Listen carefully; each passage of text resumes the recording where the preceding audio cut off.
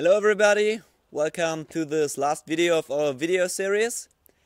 In this video we will talk about our luggage system and how we made the bike as strong and as reliable as possible. So starting with the luggage system, we have here at the front, uh, front pannier rack with uh, two front panniers for our clothes, so one bag for each person. We have our tent here on top and uh, we have mounted the front pannier rack to the fork with these uh, special hose clamps. It's nice because the suspension fork normally doesn't have any mounts for a front pannier rack. Yeah. Going on, we have these uh, top tube bags and one box which we 3D printed and we uh, put some snacks in there and some quick access items like keys or wallets. That's quite handy. Uh, here in the center we have a big frame bag for our tools, especially the tools we use uh, on a regular basis. And that's good because uh, the weight is nice and central on the bike. That's good for handling. Um, here in the rear we have a special uh, rear pannier rack and in this pannier we carry uh, all our kitchen stuff. We have quite a big kitchen. We have four stoves, a gasoline, uh, or we have four pots and one gasoline stove. We have cutting boards, everything that you need uh, to make a nice meal. And we also carry two camping chairs, which is quite a luxury, I think but it's very nice after a long day of riding. Um, come to the other side. You, this um, pannier bag we have uh, lots of special tools, so it's like this full with uh, special tools, which we normally don't need that often, but uh, we need to take them out more often than we like, and we have uh, like spare spokes and uh, voltage meter or brake fluid and also a soldering iron. We have an extra plug here for soldering iron so we can do that on the go. We carry also e-bike charger just to charge, charge the bike from the wall and music box, just some nice, nice things. And here in our trailer we also have a lot of stuff. So we have um, one bag in the bottom for our food. We can carry um, food for two days easily without going to restaurant.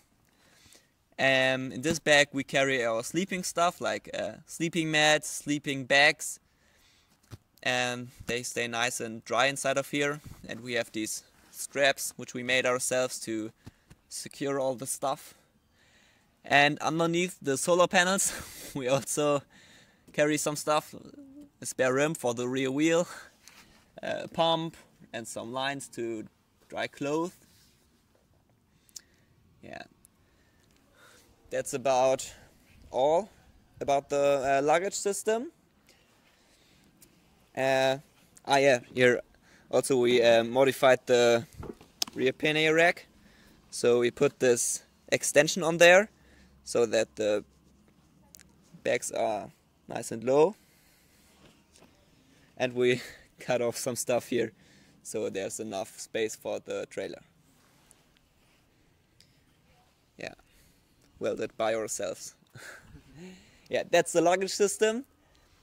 And um, now we will talk about how we made this bike as reliable as possible which uh, was quite a challenge because um, this is a tandem bicycle and that, that's also for us uh, the biggest disadvantage of riding with a tandem bicycle because you have the load of two riders on just one bike, just two wheels, one frame, and all these parts are designed for single rider bikes normally, but um, we have to make it as strong as possible so it can survive such a long journey.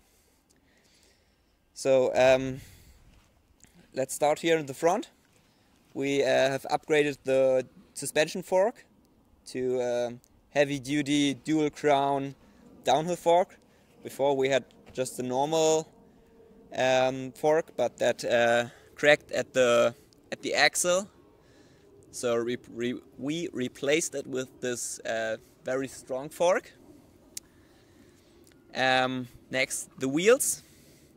We um, just laced this wheel yesterday, and uh, we have some special spokes.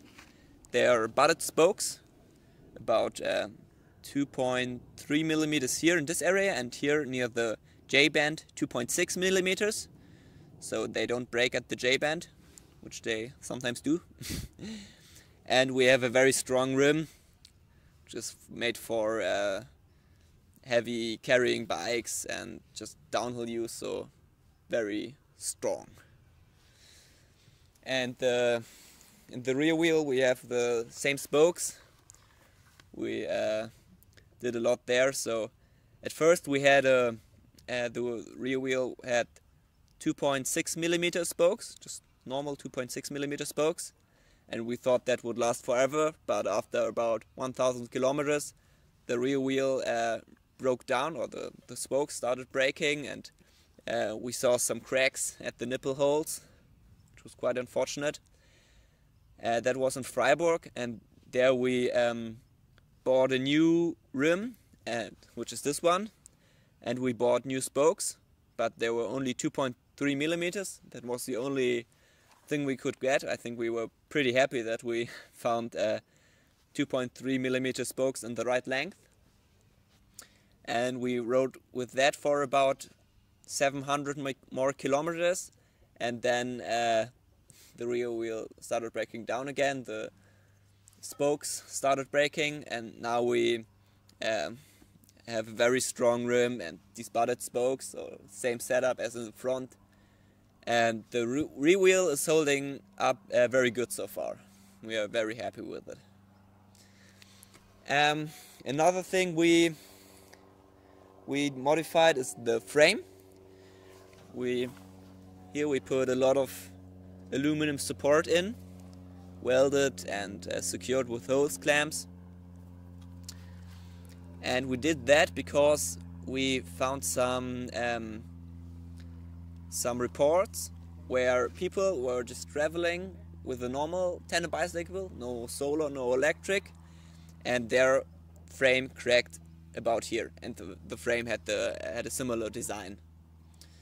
So we don't want that to happen, and additionally we have uh, a torque here on this axle because we have a hub motor in there, and this axle somehow needs to be supported.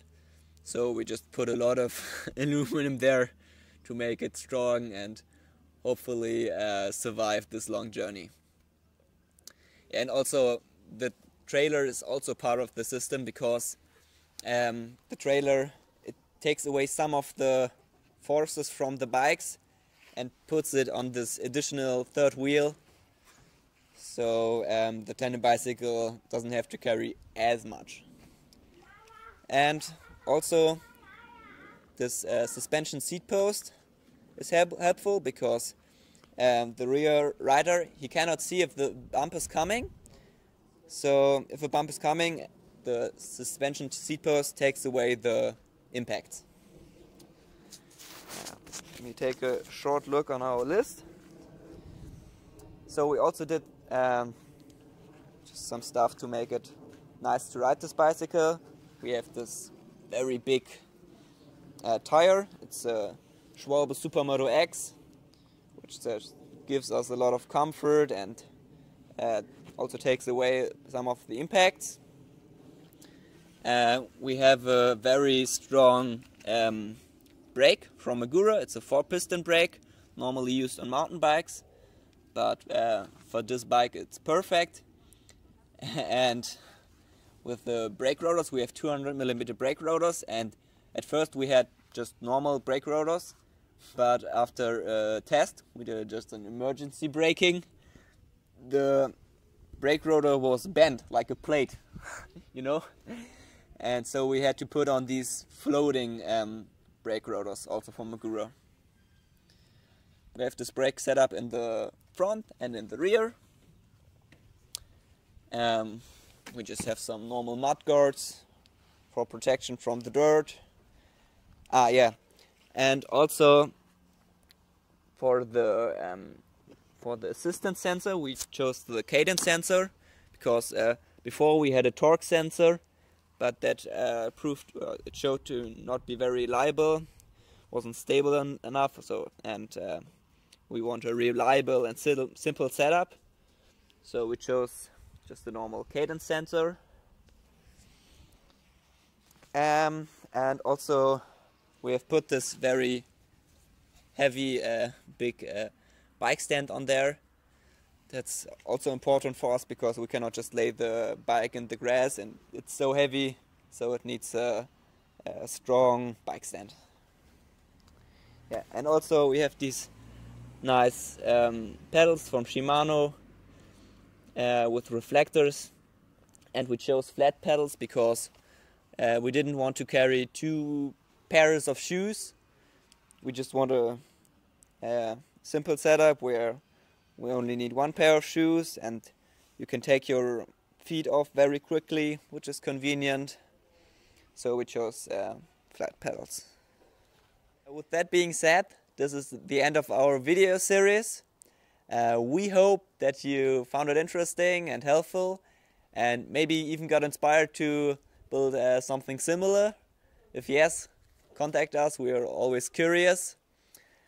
And um, we hope we could make a small contribution to the maker community because when we built this bike, we uh, researched a lot of information on the internet and that was very helpful for us. So go out there and build something. Goodbye.